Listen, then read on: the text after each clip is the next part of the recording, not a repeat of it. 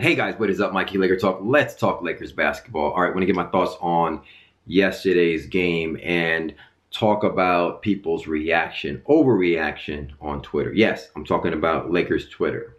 All right, you guys need to chill. Yes, I'm one of the founding fathers of Lakers Twitter. you know Lakers Twitter, basically Laker fans on Twitter that overreact to everything. We're reactionary fans that react minute to minute and we're all GMs.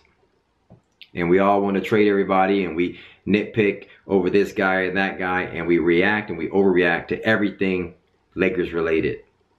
That's Lakers Twitter. And yes, I'm one of the founding fathers of that. I'm guilty. I'm guilty on all charges. But here's the thing. We got to chill. Sometimes I remove myself from that. Like yesterday, I missed yesterday's game. And after yesterday's game against the Pelicans, every freaking post in my feed was Rondo is trash. Rondo is this. Yes, this is proof that Rondo is horrible. This is this is that. I'm like, okay. So I go and I'm today, the next day, I watch the DVR of yesterday's game because I just want to catch a good, you know, I just want to want to I need to catch the game before I comment on it. And Lakers had a good game. Rondo had nothing to do with this game. He didn't have a good game. And but he shouldn't have been the the main trending focal point of that particular game. It, it's obvious when I remove myself sometimes of reacting to every everything Lakers related, and I look on Twitter. I'm like, y'all, y'all tripping. You guys are overreacting. Twitter world, y'all you guys are overreacting. All right, we need to chill. We have a good record off the New Year's break into the New Year's. We cruise past two teams. Yes, we cruise past the Pelicans yesterday. We're up 22 going in the fourth quarter. We cruise past them. All right, we cruise past the Suns. We're up 30 on them. We let the foot off the gas on them as well. All right. It doesn't matter if the Pelicans got back to single digits. It doesn't matter if the Suns fought back listen, we were crushing them. We were beating them easily, a non-playoff team easily, and we relaxed. And yes, these are NBA teams. Suns got some young studs. The Pelicans got some young studs. Alonzo was hyped, had a pep in his step, was happy to be back in LA, and he was playing well. And Brandon Ingram put up some shots. And the Pelicans got some young, some young guys who who who don't quit. And so they got it back to single digits. We put the foot, we put our foot off the gas, and that was it. But nonetheless, we beat that game easily. And we should be proud of that. We should be happy about that. Move on. What here's, here's my thing. Save your overreaction stuff to like when Denver comes back in town and we play Denver again. Right? When we play a good, tough playoff team and we're, we're, we're being tested and we fold under pressure. Like when we did against the Clippers. We were up and we folded right? That's when we can blow, start blowing stuff up and start overreacting, bring out Lakers Twitter. Against the Pelicans, are you kidding me? Against the Suns, are you kidding? We need we need Collison. We need DJ Augustin. Now I, I tweeted, you know, I like DJ Augustin, make that happen. But to be honest with you, January is still my test, and we're doing just fine. This test is great. I'm gonna wait till we're tested, and then I'll see. When we're tested, and if we fold, then I can start nitpicking, okay, we need to change up this thing. We need to change up that thing. But, you know, we had a good game. Yesterday, AD, monster, set 46 and 13. We need to sign this dude to a lifetime deal straight up after this year. We cannot let this dude go. This dude is a beast. 26, we need to sign him for the next 10 years.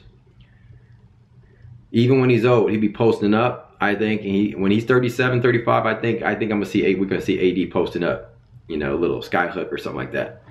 Doing one of these. Nah, but we need to sign AD for real. Um, LeBron James, 15 and or 17 and 15. Like I said two days, two videos ago. I'm gonna be okay right now with LeBron scoring, giving us 15 to 20 with like 14 assists. What do he do? 17 points, 15 assists. Like I said in my last video, you're gonna get, you're gonna different role players will eat on different days. Yesterday was Danny Green's day to eat. He had a good meal, 25 points, had a bunch of shots falling early, five threes in the first quarter. That was Danny Green's time to shine. Kuzma chipped in with 10. Yes, KCP didn't shoot well. Rondo didn't score any buckets, but he didn't. He, he wasn't out there shooting 20 shots and missing, you know, 90% of them. What they take four shots each or something like that. They missed the, some bunnies. Who cares? The the game wasn't about them. The game was about AD dominating his old team, and this was the starters game. And not every team, every player is going to play well on in every any given night. That being said, the Lakers were up on 30 on the Phoenix Suns, up on 22 on the Pelicans. And you can say, yes, Mike, but we have a habit of collapsing leads. We do. But save that for, you know, I'm going to let the coaches figure that out. Why are we giving up leads? What are we doing?